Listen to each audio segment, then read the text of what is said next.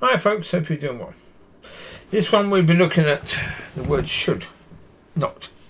Or two words, shouldn't. Yeah. One word shouldn't, but in two words should not. In John 3 16. Because the reality is God knew human nature, and God knew He had to make it so easy, so simple, that basically heaven was there for every single human being, every single person. That's why John 3.16 says, and I always wondered, does it really say that? And now I understand, yes it does. That those who believe in him should not perish. It doesn't say will not.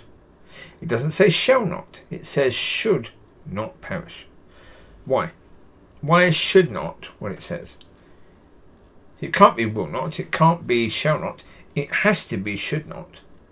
The reason why it has to be should not perish is because if it says will not and one person does perish, then that's a lie. If it says shall not, one person does perish, then that's a lie. It has to say should not, because that would be truth. That's basically saying you'd have to be basically insane to end up in hell. You would have to be that incredibly brainlessly stupid to end up in hell. Right? You would have to give your Christianity over to church. That's what you call brainlessly stupid. To stop thinking about your walk with God as your walk with God. See what crossed my mind the other day, and it is again, it's crossed my mind before, is that it's obvious, absolutely obvious, if any church was functioning correctly, right?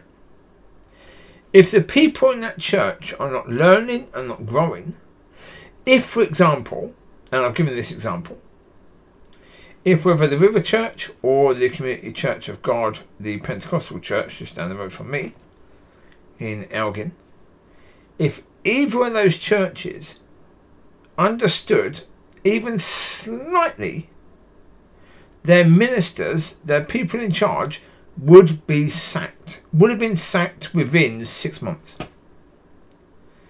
They wouldn't still be there now. Certainly, anyone knowing, understanding that Mrs. B, when she complained about seeing me in that church, and the pastor's response was to ban me from that church, immediately he should have been fired. On the spot. On this spot, he should have been fired.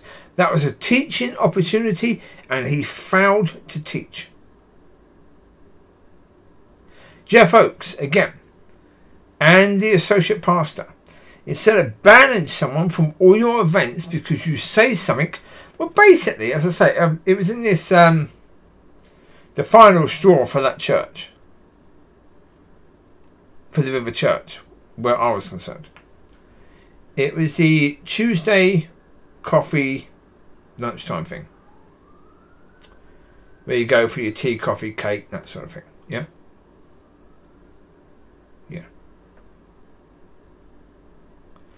A woman was talking to other women. They were talking partly about um, the Sam Smith, the singer, and talking about his nature and yeah, what darkness that man is in, and yeah, he's chosen all of that worshipping the devil, etc., etc., etc. And this woman said something about well she's covered by God in some way. And I, all I said was, um, I don't think what you said is right. Can you explain? She went to the to the associate pastor and complained. Now I could have said so much more. I could have said, "Excuse me, what on earth are you doing talking about Sam Smith in that way? That man is messed up But things have happened in his life that have made him the way he is. Could I could have been a lot harsher on him, but I was not. I wasn't very harsh on this woman at all. She goes and complains. The associate pastor says, Well, from now, you're banned from any, all and any activity that we do as a church. Now, that would come from who? Jeff Oakes. It's cowardice. That's what I said all along. It is cowardice. Because, as, look, in any democratic nation, if they have an education system, if the children are failing to learn, the teacher will get sacked. That's reality. The teacher will get sacked. And yet in church, they don't give a shit about learning. They don't give a shit about walking according to his will, his ways. They could not care less.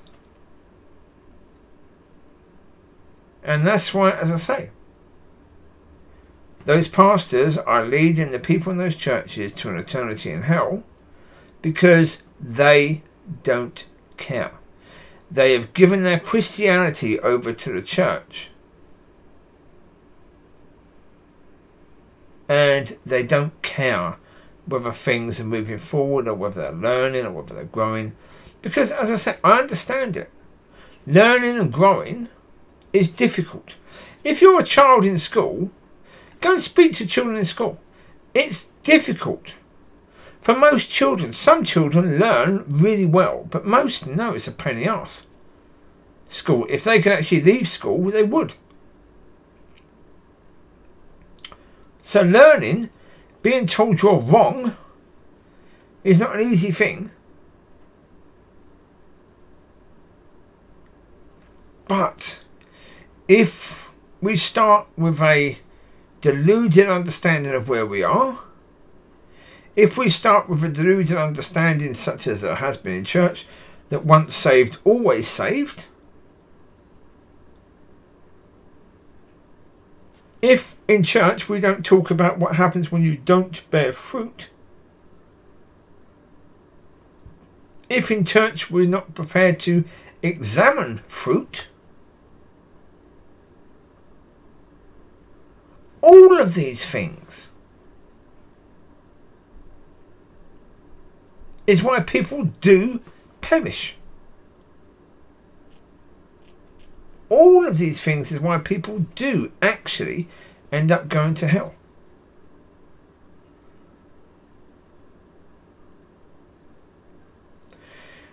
God, I mean, again, to me, it's it's so blinking simple. When I first, 1994, July 23rd, when I was first baptized, I understood that before that day I was destined to an eternity in hell. I was taught that. I understood that. That was there. Because that was there, that was always that thought in my head that, hold it, am I still destined for that? Yeah, what according to his word is the evidence of that I'm not? Most people in church don't ask that question. They don't. It's a question that every single believer should be asking. But when you're in a pattern, in a way of life where you're choosing to ignore anything that talks about consequences, you are open to the biggest of those consequences. You are making yourself open to the biggest of those consequences.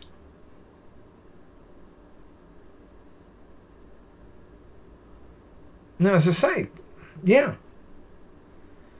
If a teacher in a worldly system would be fired for not teaching, how on earth is it easier for a teacher of spiritual ways to not do their job and never face a sack.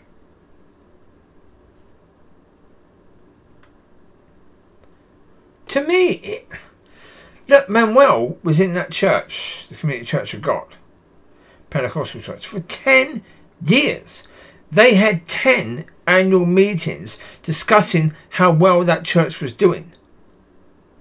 And they kept him on every time. So again, the leadership of that church should be sacked. Every single one of them should be told to step down. Anyone involved in the leadership at that point in time should be told to step down because you did a terrible bloody job.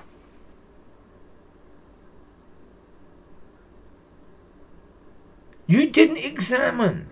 You didn't care.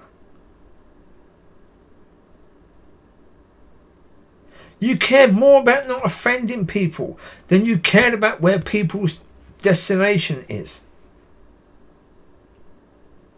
As I say, goodness sake, people have got to wake up to the fact that if after they die they wake up in hell, they're going to be a damn sight more bloody offended than they are that I've used a couple of swear words in this video.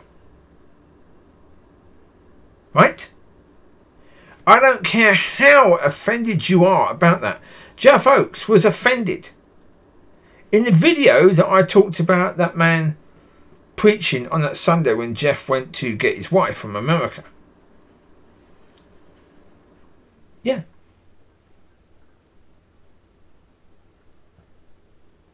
Yeah. I used swear words at that point in time in that video. And Jeff Oakes was far more offended by the swear words than by the fact that he had basically told this man who was nowhere near prepared to bring the message on that day. He, Jeff Oakes, was telling the people of that church, this is what you are worth. Nothing.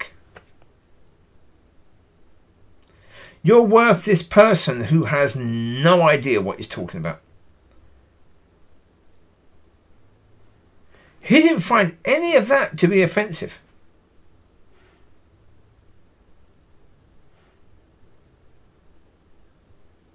No. He didn't find it offensive that a man in that church who'd been in the church for years and years and years and years and years was saying that Barabbas should have been crucified and the Jews should have set Yeshua free. He didn't find it offensive that this man was saying that we shouldn't receive that forgiveness. And that all of God's work should have been undone because he wasn't guilty. This man didn't have a clue what he was talking about. And he didn't find it offensive that that man was saying that. I did. I found it incredibly offensive that that man was saying what he was saying in that church, and the people in that church were being told, This is what you're worth. Because this is the point. If you are in a church, what you put forward is you telling these people, this is what you're worth. If you prepare, you practice, and you present the message and make it perfected, but it's of this world, then again, you're telling people this is what you're worth. I practiced it. I didn't wait on God. I did it according to the world because I want you to be impressed with me. And this is what you're worth.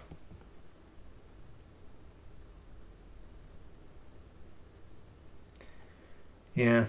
The problem is, all of that offends me because how are you saying that this is what the people of God are worth? The people that Yeshua gave his life for, you're saying that this is all they're worth. By what you're doing. The whole point of saying we'd rather be careful not to offend you than help you to deal with the issues that could lead you to hell. Oh, yeah. Yeah. Folks, hmm.